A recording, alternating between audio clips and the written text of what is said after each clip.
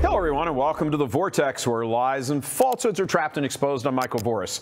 When Bishop Sheen, Fulton Sheen, who should be canonized a saint by now, if not for the scheming by various U.S. bishops to prevent that from happening, when he said it's up to us, the laity, to save the church, well, he wasn't kidding.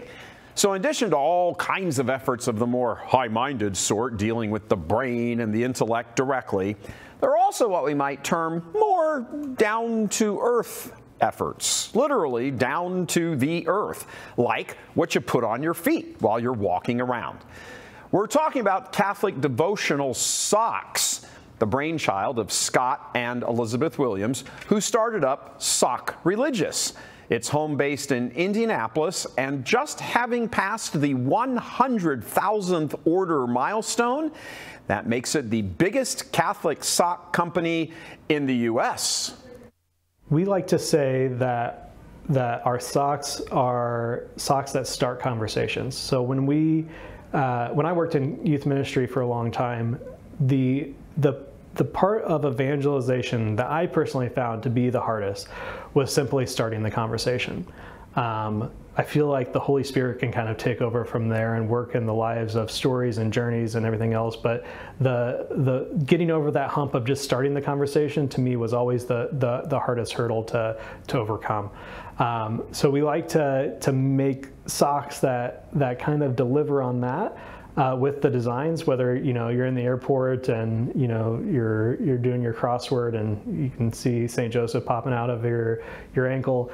Uh, but what we do is on the back of the tags for every socks that we make, we tell a little bit about the lives of the saints. We give some key facts like feast days, uh, what they're the patron of, um, and then give a real short, you know, pocket-sized bio of of the saint or the devotion. Um, because a lot of times what happens is our, our socks are given as gifts uh, to people, and they might not know a whole lot about the saint that they're, they're getting, but uh, we try to give them a little bit of ammo for evangelization.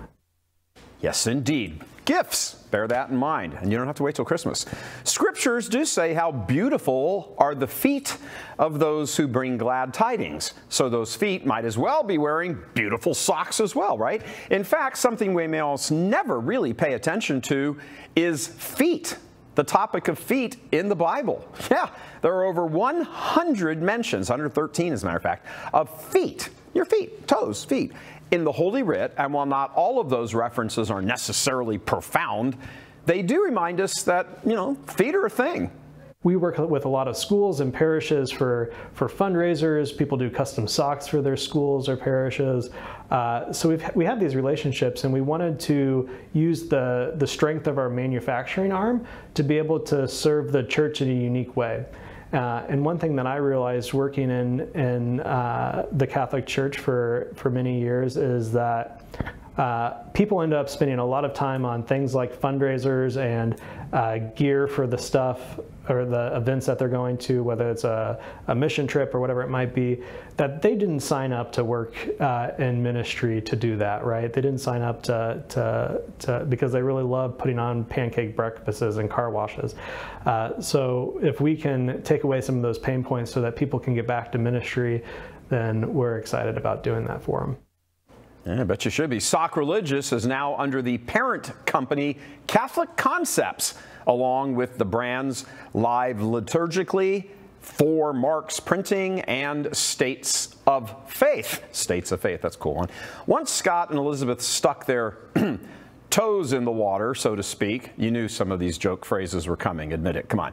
They quickly discovered a market for all kinds of Catholic merchandise a lot of people will say like you know your your socks are evangel like the product itself isn't evangelized but we're giving people the tools mm-hmm. to evangelize and and you know how do you become holy right one of the key areas to do that is to surround yourself with holiness holy people uh, reminders of holy products remember re- reminders to to to live out the great commission in a unique way so so we we uh, do a lot of that through products. We give people more reminders to, to be holy, whether that's uh, socks, apparel, clothes, uh, things in your house, you name it. We want to be able to, to give people that, that space.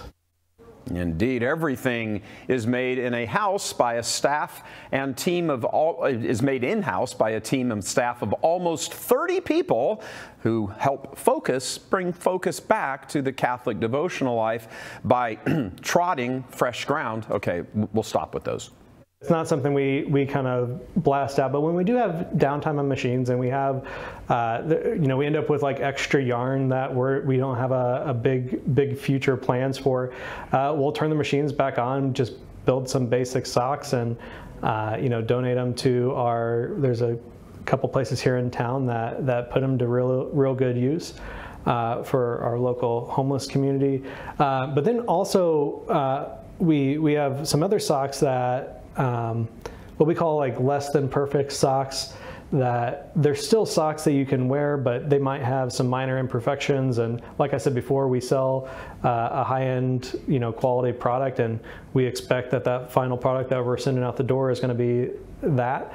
Um, so if there's a small defect, but it's still a wearable sock. What we end up doing is we, we bring in some volunteers from local high schools. We, uh, we pair them up uh, with like socks, and then we work with uh, Cross Catholic Outreach, and they send them in their boxes of joy to, to countries around, or th third world countries that, that need them. Yeah, those slightly less than perfect ones, those are for the really big sinners.